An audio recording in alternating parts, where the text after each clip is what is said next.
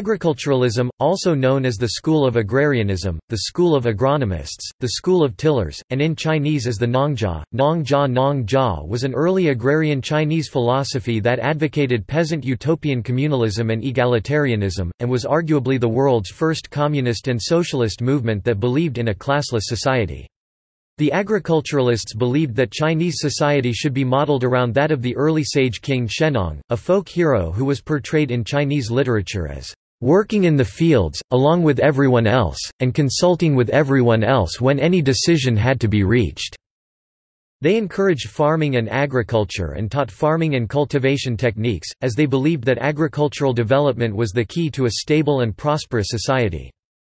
Agriculturalism was suppressed during the Qin dynasty and most original texts are now lost. However, concepts originally associated with agriculturalism have influenced Confucianism, legalism, and Chinese philosophy as a whole. Agriculturalism has significantly influenced Chinese thought, and has been viewed as an essence of the Chinese identity.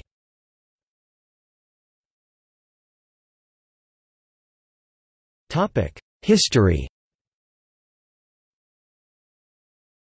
Agriculturalism dates back to the Spring and Autumn period and Warring States period, during a period known as the Hundred Schools of Thought, which flourished from 770 to 221 BC. Throughout this period, competing states, seeking to war with one another and unite China as a single country, patronized philosophers, scholars, and teachers. The competition by scholars for the attention of rulers led to the development of different schools of thought, and the emphasis on recording teachings into books encouraged their spread. The result was an era characterized by significant intellectual and cultural developments. The major philosophies of China, Confucianism, Mohism, legalism, and Taoism, all originated from this period. Chinese tradition attributes the origin of agriculturalism to the Chinese minister Hou Ji, a figure known for his innovations in agriculture. The agriculturalists also emphasized the role of Shennong, the divine farmer, a semi-mythical ruler of early China credited by the Chinese as the inventor of agriculture.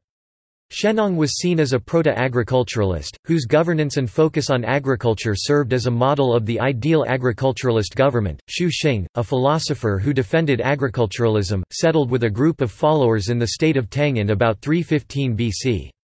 A disciple of his visited the Confucian philosopher Mencius, and a short report of their conversation discussing Xu Xing's philosophy survives. The rise of the Qin dynasty in 221 BC saw the purge of the hundred schools of thought, including agriculturalism.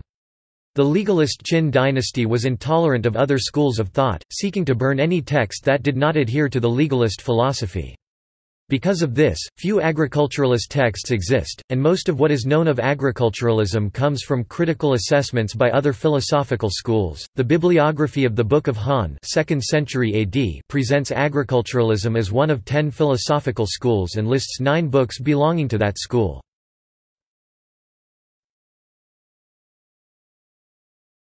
Topic: Philosophy Agriculturalism is primarily a social, economic, and political philosophy. The philosophy is founded on the notion that human society originates with the development of agriculture, and societies are based upon people's natural propensity to farm.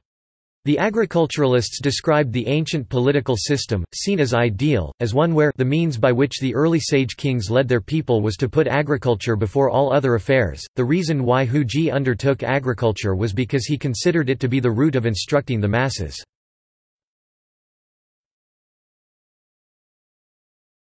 Topic: Political To the agriculturalists, the ideal society, modeled after that of Shennong's, is communal, agrarian, and egalitarian. The agriculturalist believed that the ideal government is led by a benevolent king, one who works alongside the people in tilling the fields. The agriculturalist king is not paid by the government through its treasuries, his livelihood is derived from the profits he earns working in the fields and cooking his own meals, not his leadership. Said Xu Xing, a prominent agriculturalist, the ruler of Teng is an upright and worthy ruler. However, he has yet to hear the way. A wise ruler tills the land together with his people to make his living. He governs while cooking his own meals. Now, that Teng has granaries and treasuries means that the ruler inflicts hardship on the people to fatten himself. How can he be a worthy ruler? Economic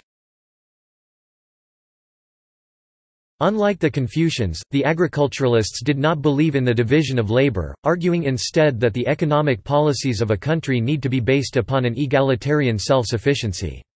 The agriculturalists supported the fixing of prices, in which all similar goods, regardless of differences in quality and demand, are set at exactly the same, unchanging price.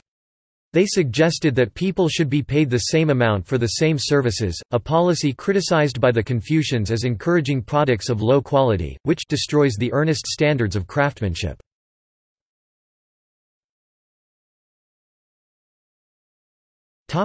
Reception Agriculturalism was criticized extensively by rival philosophical schools, including the Mohist Mo-zi, the Confucian Mencius, and Yang Zhu. Mencius criticized its chief proponent Xu Xing for advocating that rulers should work in the fields with their subjects, arguing that the agriculturalist egalitarianism ignored the division of labor central to society. He points out that other early Chinese rulers did not work in fields, yet were equally as successful and revered as Shennong. Mencius dismisses Xu Xing as a southern barbarian with a twittering tongue.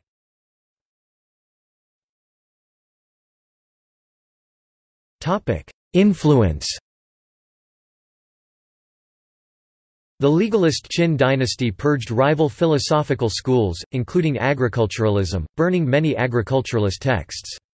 However, agriculturalism in its heyday heavily influenced the agrarian policies of Confucianism, legalism, and other philosophical schools, so many concepts originally associated with the agriculturalists continued to exist in Chinese philosophy.